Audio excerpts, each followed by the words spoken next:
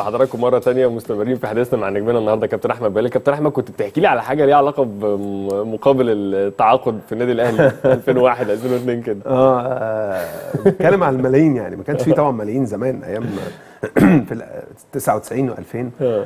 ففي سنة كان كابتن حسام بيجدد والكابتن هادي خشبة والناس الكبار بتوعنا آه. يعني. أنا كان لسه عندي 19 سنة 99 فسمعنا بقى عن الأرقام بقى قالوا الأرقام هتتغير يا جماعة وابتدت الناس وداخلين بقى في وإحنا كمان إحنا كنا. ناشئين طالعين من آه. لسه من تحت يعني ف إحنا يا دوب بناخد عارف كنت أنا المرتب بتاعي تقريبا كان فئة تانية باخد 800 جنيه آه.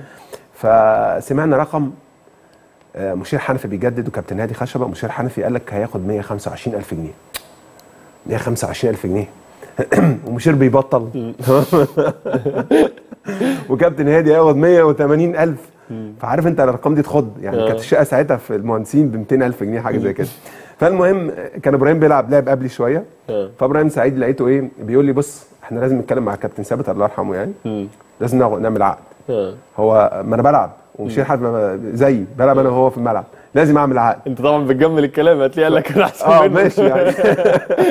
فراح راح آه، إبراهيم قال لك إيه؟ راح جاي رايح ل- لكابتن ثابت الله يرحمه.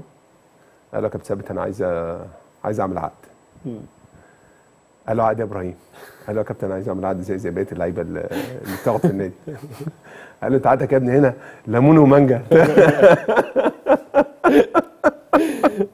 الله عليك يا كابتن ثابت واحد من الناس المحترمة جدا. آه طبعا طبعا. طبعا فجيه كلمني قلت له إبراهيم إيه؟ هتاخد كام هتاخد كام 100000 2 كيلو مانجا.